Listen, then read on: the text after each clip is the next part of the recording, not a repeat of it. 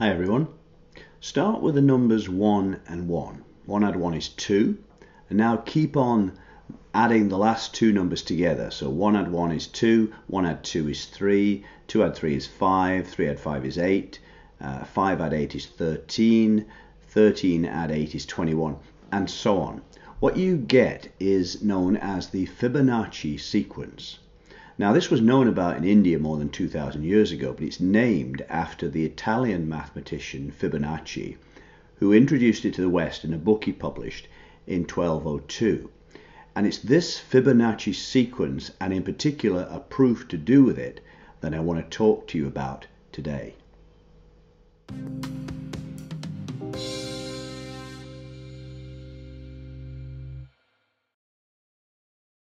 The Fibonacci numbers are generated by the recursive formula f sub n plus 1 equals f sub n plus f sub n minus 1, with f1 and f2 both equal to 1. It's obviously easy to calculate the Fibonacci numbers in ascending order just by successively adding the previous two numbers together. But what if you want to jump in at some point and calculate, say, the 100th term or the 1000th term, without having to work through all the intermediate steps. Is there a way of doing that? Well, yes there is. There's a formula named after the French mathematician Jacques Binet, who derived it in 1843, although others including Euler and de Moivre knew about it earlier. Binet's formula is f sub n equals phi 1 to the n minus phi 2 to the n all over root 5 where phi 1, the so-called golden mean, is 1 plus root 5 over 2, and phi 2 is 1 minus root 5 over 2. Binet's formula can be proved by induction quite easily, and that's a topic we've talked about in another video. But here we're going to look at how it can be proved by a different method that uses linear algebra. Let's go back to the relations by which the Fibonacci numbers are defined and put these into vector and matrix form. We can set up our defining relations as a matrix vector product. The starting values f1 and f2 can be represented as the vector 1, 1, and we can encode the recurrence relation as the matrix product shown here. When we multiply through, the first row of the matrix times the vector gives f sub n plus f sub n minus 1 equals f sub n plus 1, which is the generating formula for the Fibonacci sequence, and multiplying the second row gives simply f sub n equals f sub n. Okay, now let's go through a few iterations and see how this works out. We'll start by doing our matrix vector product for f3, f2. So we've got our matrix, our Fibonacci operator if you like, operating on the previous pair f2, f1, which is the column vector 1, 1, to give this product. Multiplying the vector by the top row of the matrix gives 1 times 1 plus 1 times 1, which is 2, and multiplying by the bottom row gives 1 times 1 plus 0 times 1, which is 1. So f3, f2 is 2, 1. Let's do one more iteration to get f4, f3, like this. Now, because f3, f2 is this, and f2, f1 is this, we can also write f4, f3 in this way.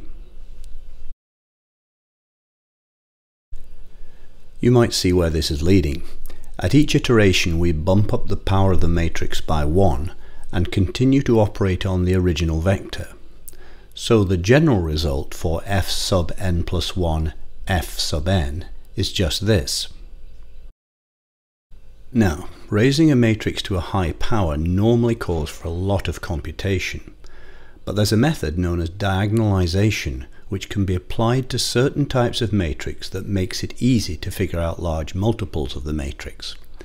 It involves writing our original 2 by 2 matrix, which we'll call M, in the form Q, D, Q to the minus 1, where D is a 2 by 2 matrix with particular values on the main diagonal and zeros elsewhere. To find D, we first need to calculate the determinant of a variant of the matrix M. This variant is obtained by subtracting an as yet unknown value lambda from each element on the main diagonal of M and leaving the other elements unchanged. Now we take the determinant of the variant of the matrix M. This gives us what's known as the characteristic polynomial of M, p sub m lambda. And expanding the determinant gives 1 minus lambda times minus lambda minus 1, which equals lambda squared minus lambda minus 1. When the determinant is 0, the solutions are the eigenvalues.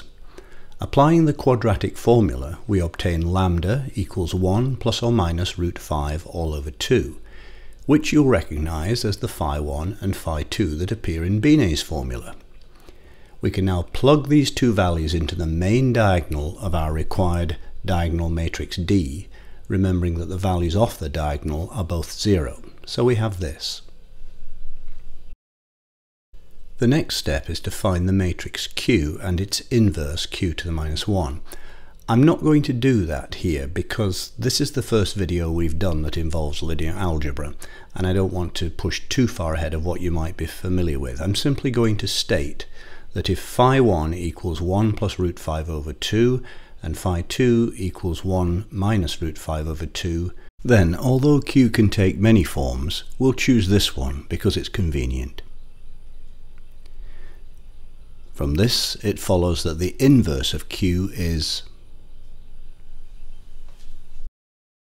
Now, if m equals qd q to the minus 1, then m to the n equals qd to the n q minus 1. So we have this. And when we multiply out these matrices, we find that this is the result. We're almost there, but there's one last step that we have to take. Remember from earlier on we had this formula.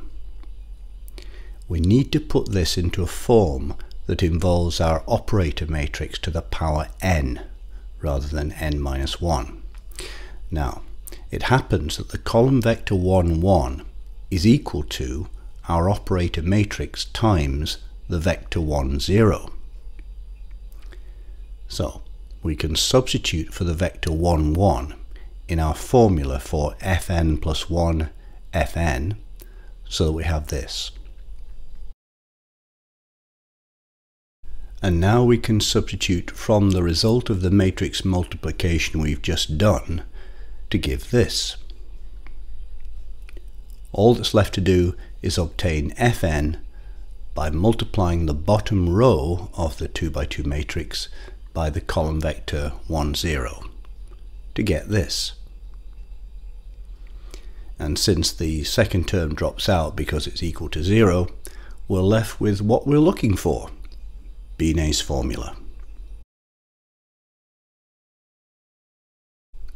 I hope you've enjoyed this. Give it a replay if you've missed some of the steps because there was quite a lot of working out. Please subscribe if you haven't already, and I'll see you again in the next video.